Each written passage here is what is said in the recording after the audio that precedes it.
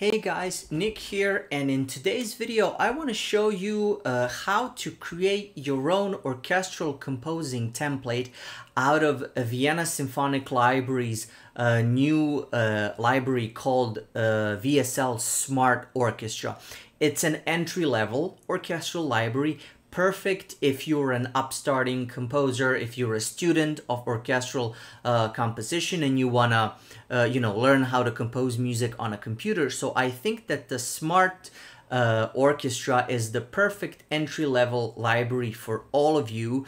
And uh, I know uh, things can get quite cumbersome when it comes to, you know, creating your own templates and stuff like that. So these are just some of the quick tips that I want to show you in order how to uh, create your own templates here uh, that are ready for composing inside uh, for all of your project. Now, depending on your DAW that you're using, I'm using Studio One here. So uh, first things first is that you want to load all of your instruments here separately. So I have my strings, woodwinds, brass, and percussion all divided and I have them all, you know, um, separate outputs for my long strings, my short strings, and these are my solo instruments here, uh, the violin, viola, and the cello. Now, what I'm using here is the Vienna Ensemble Pro uh, host software, which is also developed by Vienna Symphonic Library, guys, and it's enabling you to host your uh, all of your VST instruments inside of it, outside of your uh, DAW's um, working environment, and it's a perfect uh, way to ensure that in case your DAW crashes, uh, this will not and all of your instruments will stay saved uh, inside VE Pro. And once you reopen your uh, once you reopen your DAW you can just continue working. Now if you are not using uh, VE Pro 7 of course you can simply load your instrument inside your DAW as you know your uh, separate instruments but you will need quite a lot of instruments here. So I have my uh, module here for strings, which are my smart strings. Now I have two buses here, which are my strings long and my strings short. So when I'm uh, when I am exporting my music, uh,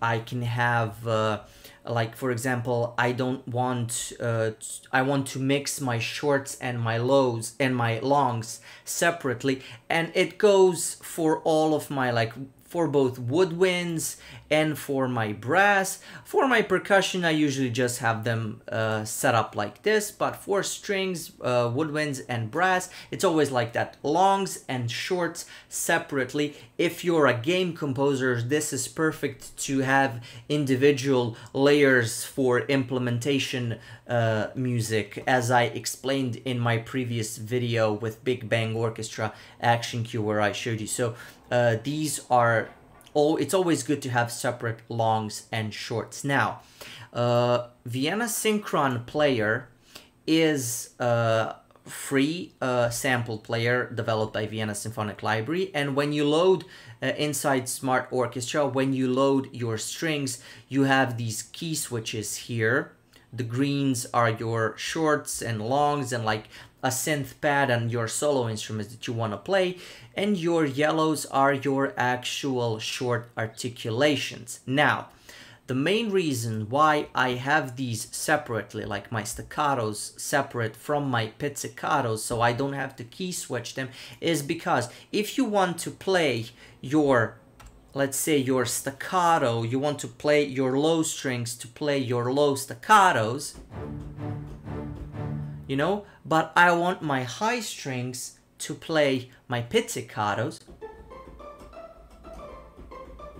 You know, so uh, if I key switch between one another, like in this, if I start key switching from staccato to pizzicato, I will exclude uh, the staccatos from lower and then it will shift all together. So it's always better to have them as a separate articulation. Plus, if you want to send your music to your orchestrator. Your orchestrator is not going to go and ask you like, hey, which key switches are for this articulations and what. So you want to give them your MIDI project straight like this with all the notes together like aha okay so these are the strings that are playing staccatos these are the strings playing pizzicatos.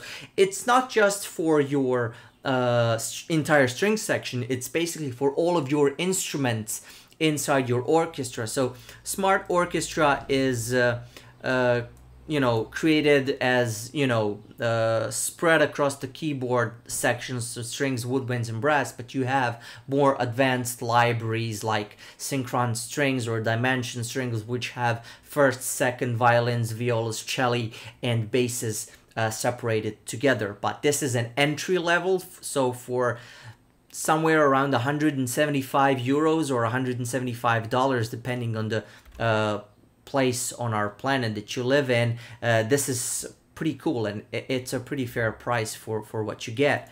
So I have my staccatos and my uh, pizzicatos, my uh, long articulations here, uh, I have them also separated individually. So I have my normals and my marcatos and my fortissimos.